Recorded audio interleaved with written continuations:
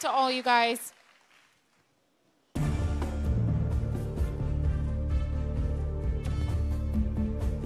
Alexis and Alan, Bobby and Sharna, Evanna and Keo, Milo and Witney.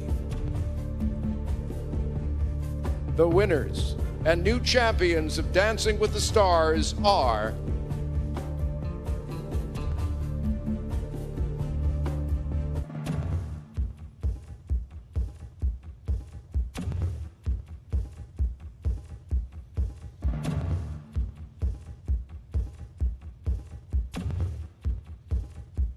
Bobby and Sharna.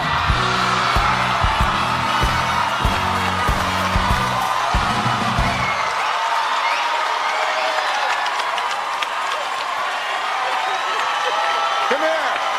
Come here, you. You are, in very true words, the people's champion, my friend. What do you have to say? I got nothing. Thank you to the people. Thank you to Sharna who made all this possible. Here's your trophy. Your The champion of season 27. We're going to say goodnight as we celebrate them. You can see them tomorrow morning with all of our finalists live in New York on GMA.